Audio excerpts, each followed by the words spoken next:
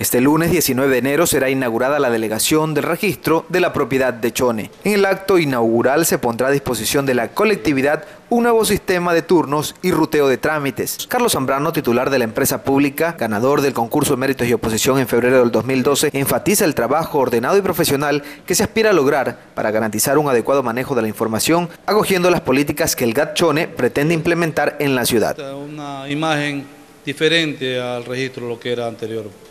Eh, el día lunes primero de, enero a las 9 de la mañana. vamos a dar la apertura a las nuevas instalaciones del registro. Los servicios se vienen dando, eh, ahora vamos a, tener una, una, sala de espera, vamos a tener un turnero, vamos a tener una pantalla, una pantalla, vamos a, otorgar una especie de, para que la gente no tenga, tenga esa comodidad de venir, coger un turno y esperar, pues, que eso es lo ideal, darle un buen servicio a la ciudadanía y al Cantón Chon. Sí, eh, eh, a ver, eh, contamos con el apoyo del, nuevo administrador, el señor alcalde, de los señores ediles. Ellos están contentos con la obra, la obra que se está dando en adelanto de Chon. Claro, todo está en orden, todo está bien ordenado.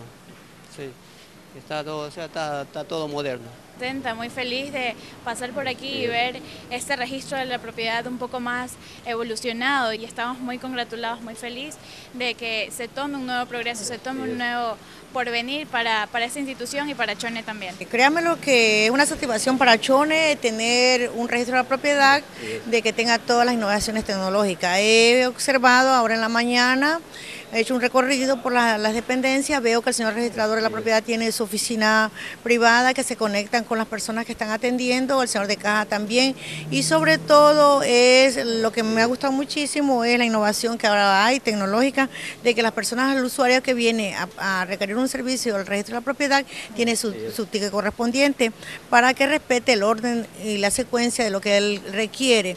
En este he visto, en esta máquina existen todos los servicios que da el registro de la propiedad, inscripción, eh, certificados de, la propiedad, de solvencia y cuantos otros que, trámites que se hacen en este registro.